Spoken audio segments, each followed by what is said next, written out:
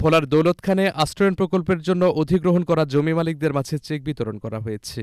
বৃহস্পতিবার দুপুরে উপজেলা পরিষদ হলরুমে জমি মালিকদের মাঝে এ চেক বিতরণ করেন উপজেলা নির্বাহী কর্মকর্তা পাঠান মোহাম্মদ সাইদুজ্জামান। এ সময় উপজেলা পরিষদের চেয়ারম্যান মঞ্জুর আলম খান, উপজেলা সহকারী কমিশনার ভূমি মোহাম্মদ গোলাম মোস্তফা সহ প্রিন্ট ও ইলেকট্রনিক মিডিয়ার সাংবাদিকরা উপস্থিত ছিলেন। অনুষ্ঠানে বাইশ জন জমি মালিকের হাতে চেক তুলে দেওয়া হয়।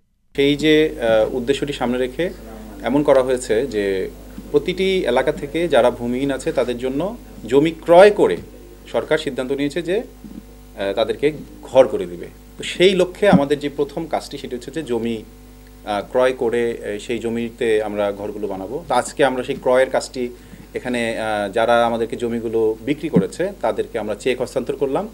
আমাদের এই চতুর্থ পর্যায়ের মুজিব বসের এই ঘরে আমাদের দৌলত খান উপজেলায় মোট একশো সাতাত্তরটি পুনর্বাসিত পরিবারের জন্য আমরা মোট জমি পাঁচশো সাত শতাংশ জমি মানে পাঁচ একরেরও বেশি আমরা জমি ক্রয় করেছি।